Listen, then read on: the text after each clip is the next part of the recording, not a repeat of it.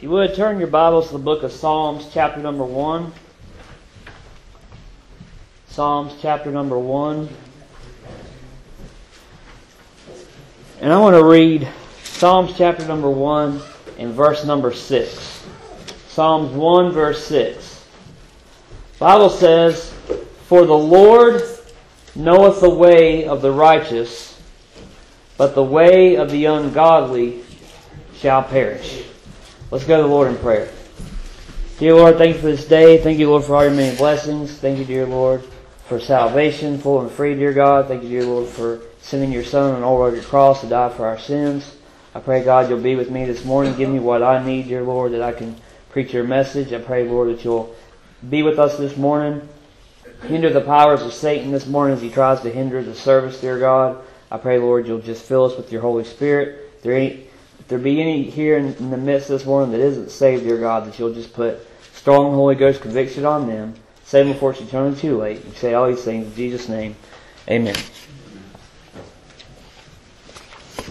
In Psalms chapter number one, the first psalm, we come to the psalm of two ways. By way of introduction, first of all, there's a contrast.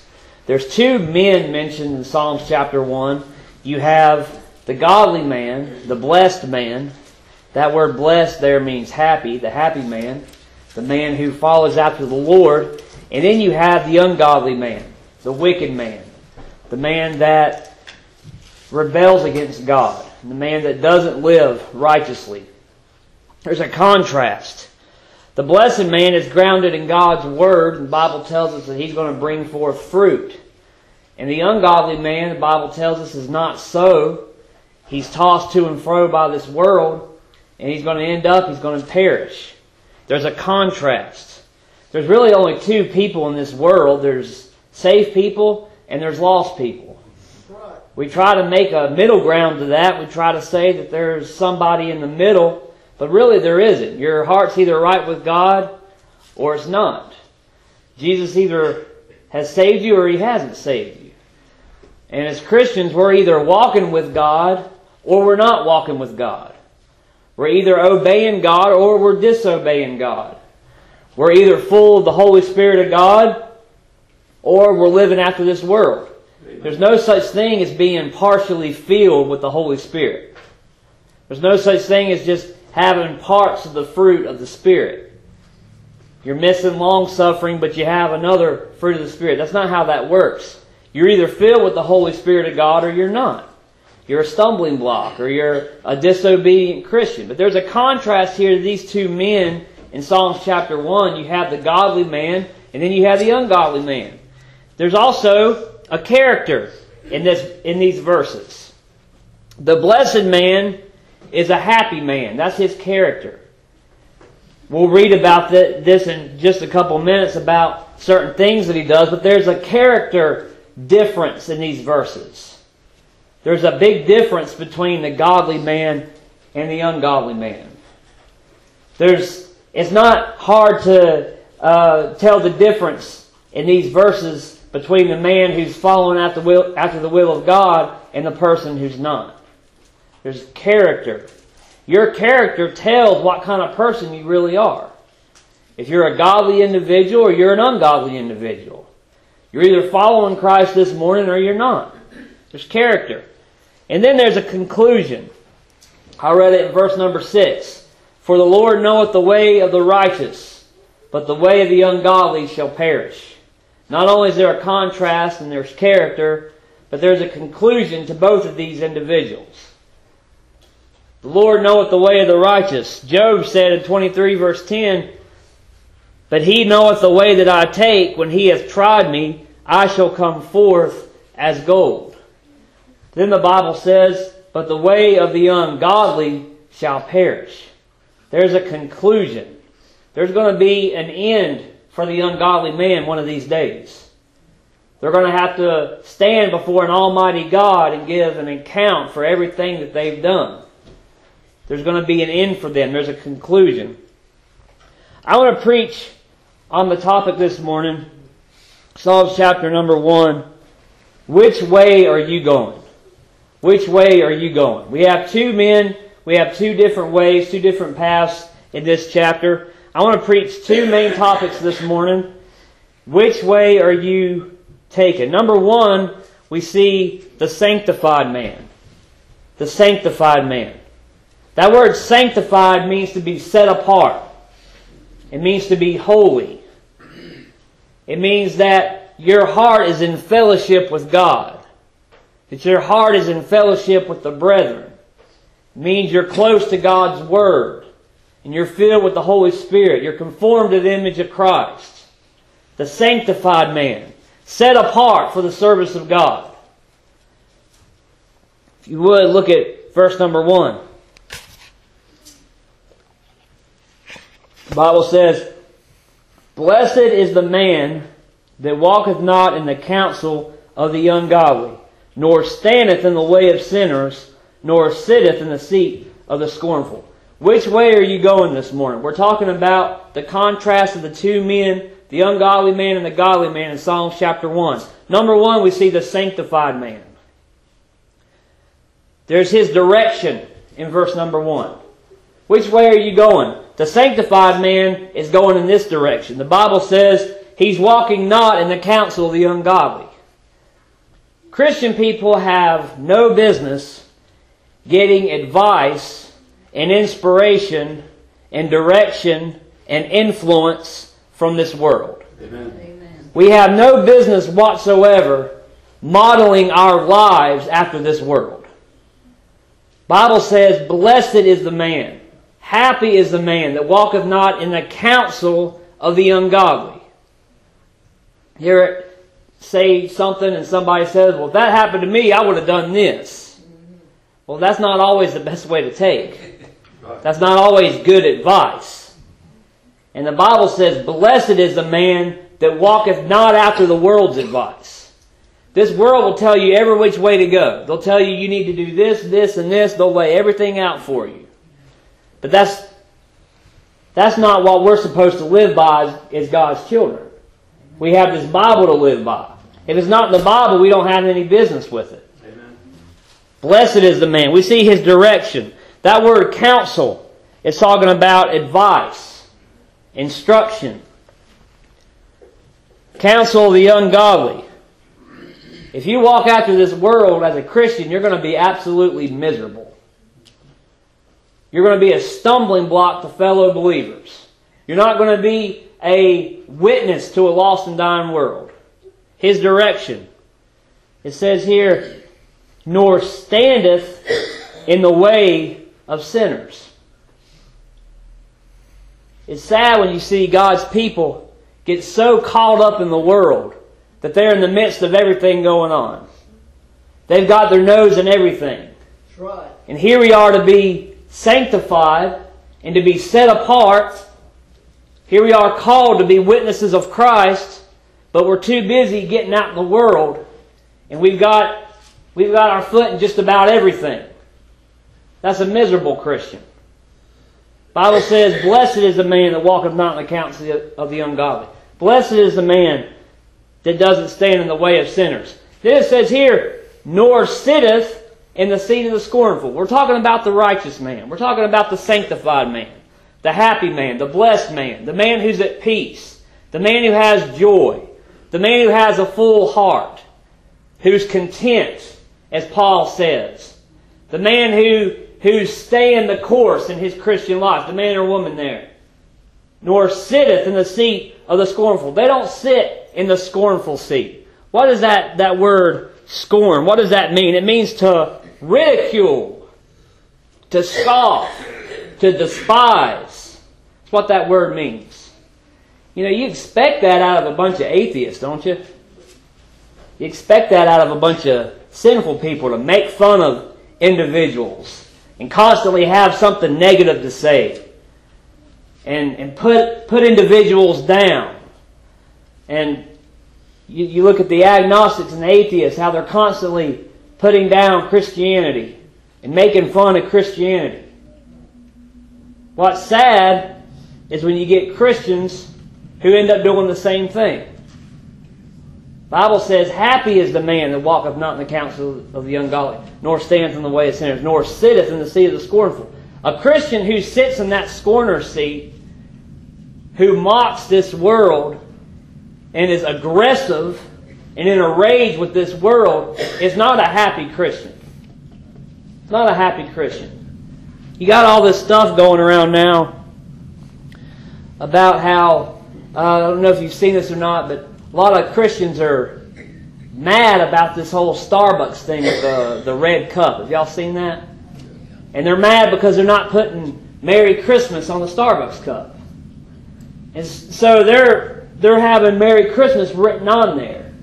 My friend, if the only reason we're saying Merry Christmas is to make a political statement or to start a movement or to let people hear our voice, I believe we've missed the true meaning of Christmas. Amen. I believe we've missed how Jesus Christ became flesh to dwell among us so that because the first Adam failed and brought sin upon this world, he, the second Adam, came, lived 100% as man, 100% as God, yet without sin, died on an old rugged cross for our sins, was buried, and rose again on the third day. That's why I say Merry Christmas this morning.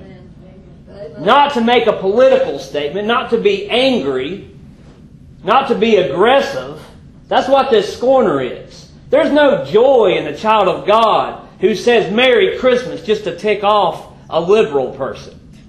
There's no joy or peace in the child of God who says that just to make somebody mad or tick someone off. Amen. I'm glad when I say Merry Christmas this morning, it's because Christ saved me from sin. Now, if that offends you, I could care less, but I don't say it to offend you. Amen? I say it because I'm saved. But there's no, there's no joy in a Christian like that. Which way are you going this morning?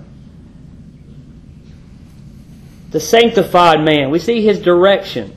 You know, if we focus more on being conformed to the image of Christ, dying to our flesh, being filled with the Holy Spirit of God and being a light to this lost and dying world, we'd be a whole lot more joyful and peaceful as Christians. That's what this, this sanctified man does here in Psalms chapter number 1. That's what Paul did. Paul was conformed to the image of Christ. Paul said, I die daily. Paul didn't let everything of this world get under his skin. He said, For to me to live is Christ and to die is gain. We see his direction. Number two, we see his delight. Look at verse number two. But his delight is in the law of the Lord, and in his law does he meditate day and night. He doesn't find delight in winning an argument or a debate. He doesn't find delight in pleasing his flesh or getting his way or everything going according to his plan. He finds delight in the Word of God. He finds peace and joy from reading and staying and meditating on the Word of God. His delight. It says here, it says, meditate day and night. That doesn't just mean to just kind of daydream and read through our Bible real fast and say, There, I did it, and think we're good for the day. This is talking about the man who meditates on the Word of God. We can memorize just about everything else. We memorize lyrics to songs, we memorize all kinds of things. It'd be good for some of us to memorize some Scripture, wouldn't it? It'd be good for some of us to read a verse in the morning and meditate on that the entire day and ask the Holy Spirit of God to truly show us what that means. This is an individual who stays in the Word of God from the moment he wakes up, the moment they go to sleep. They stay in the Word of God. Their delight is in the Word of God. That's the, that's the top part of their day. That's the, the, the, the best part of their day is opening the Word of God. We see his delight. And then we see in verse number three, his devotion.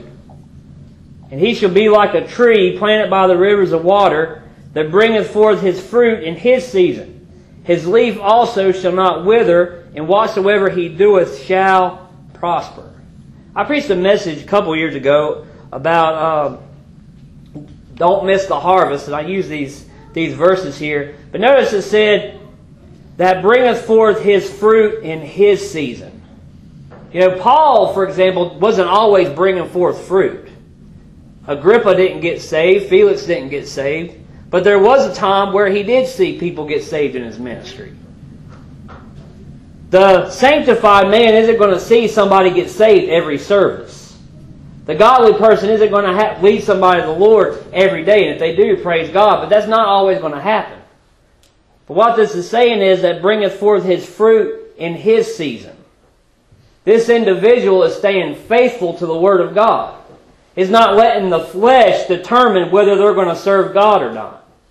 Sometimes as Christians we get devastated if a certain number of people don't show up to church or if we don't get the results that we're looking for.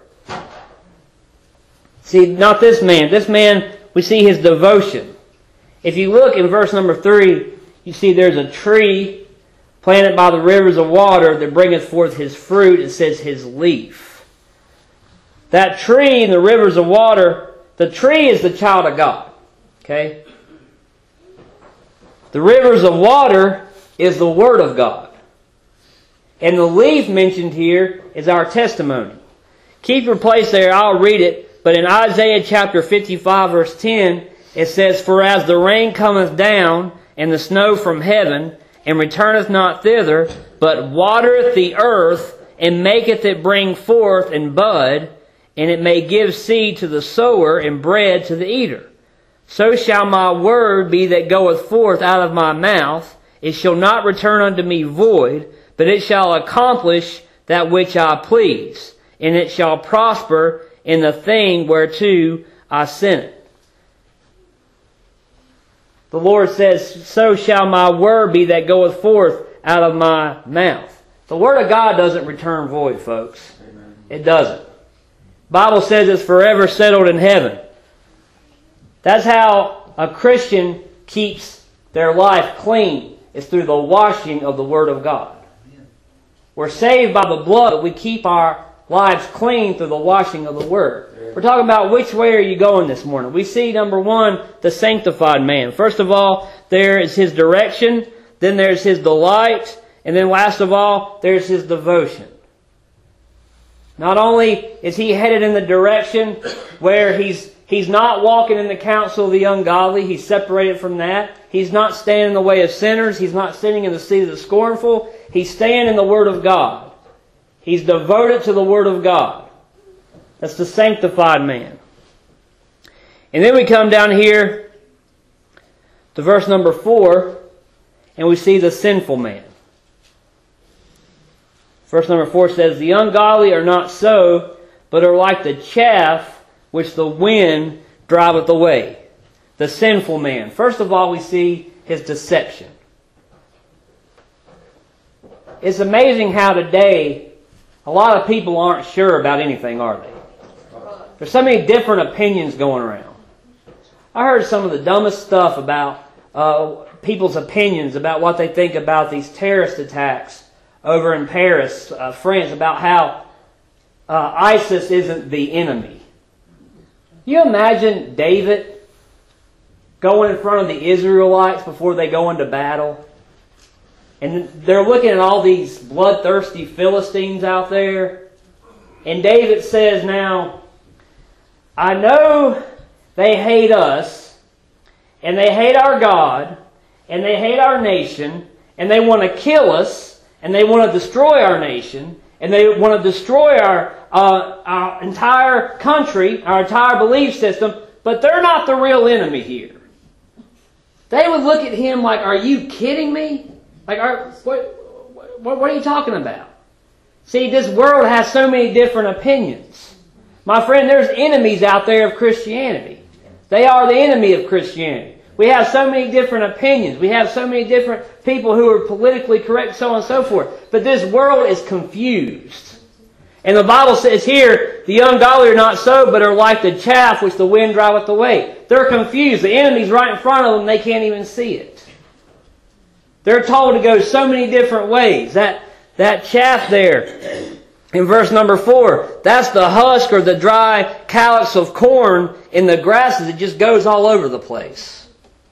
They're not grounded in anything. They don't know what they believe. They're not sure about anything. But I'm here to tell you this morning, there is a sure word of God. You see, the sinful man is deceived. He's deceived into thinking that nothing's grounded in this world. There's no way, there's no way to turn in this world. He's deceived. That chaff there is pretty much just worthless matter. He's just going around every which way the wind blows. That's where he goes. You ever met any Christians like that? Whichever way the wind blows, that's where they go. Amen.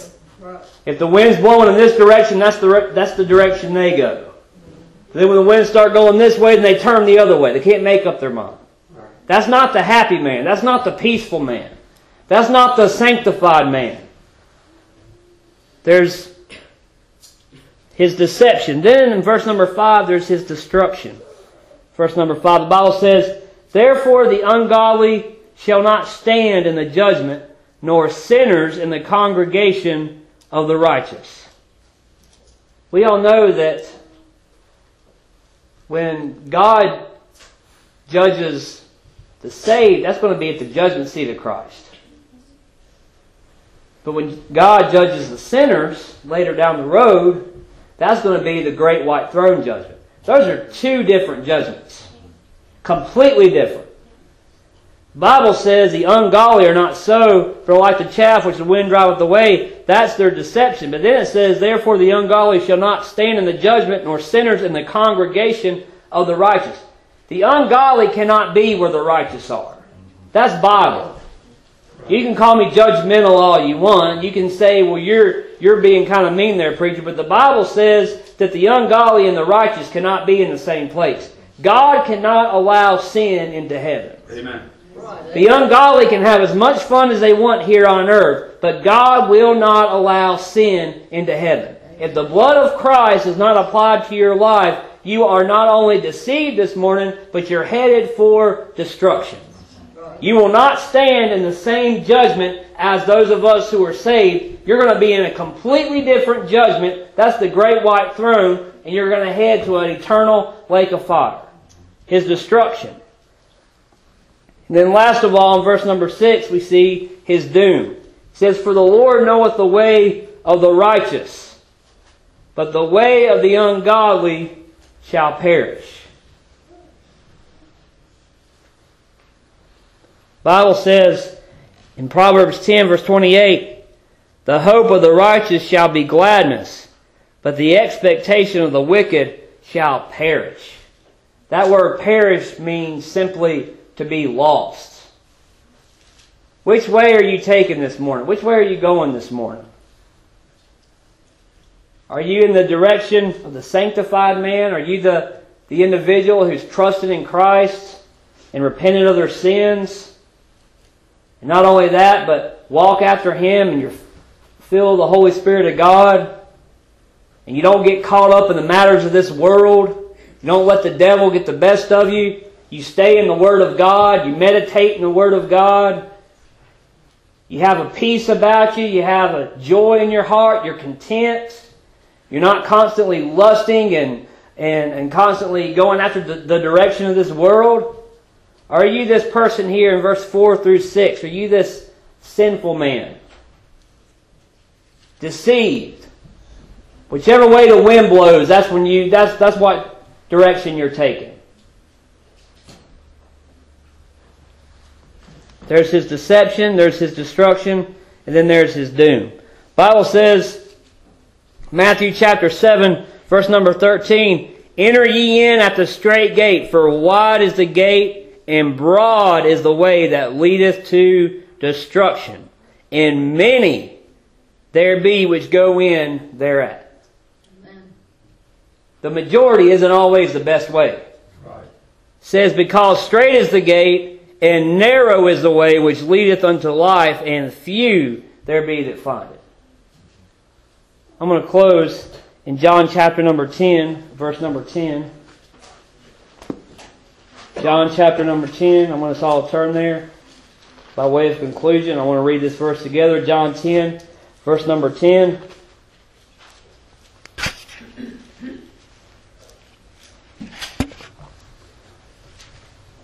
Bible says, The thief cometh not but for to steal and to kill. This is Jesus, he says, and to destroy. I am come that they might have life, and that they might have it more abundantly. Do you know that Psalms chapter number 1 is actually a type of Christ?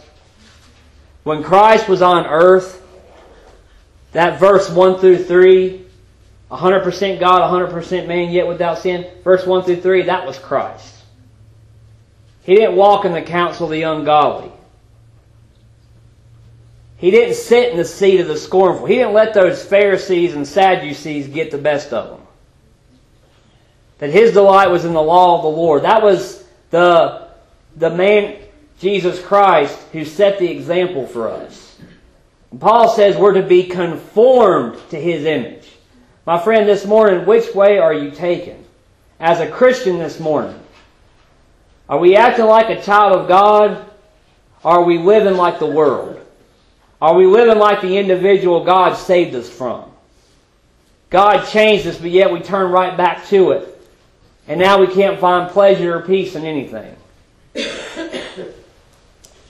Jesus said here in verse number 10, I am come that they might have life and that they might have it more abundantly. If we don't walk in the counsel of the world, if we stay in the Word of God, you know, God will make our lives really just flourish for Him. We'll be peaceful and we'll be content. But if we get caught up in this world and get aggressive and act like the world, how can we ever be how can we ever be a witness for the Lord? Let's go to the Lord in prayer. Every head bowed, every eyes closed. Dear Lord, I pray you'll touch this invitation, use it for your honor and your glory. I pray, God, that if there's anyone here this morning who doesn't know you, that you'll put strong Holy Ghost conviction on them, save them before it's eternally too late. I pray, Lord, if there's someone here this morning who maybe have just kind of gotten away from you, dear Lord, that you'll put conviction on them, that they'll get their heart right with you before the service is out. We say all these things in Jesus' name. Amen. You would stand? What number you got? Number 155.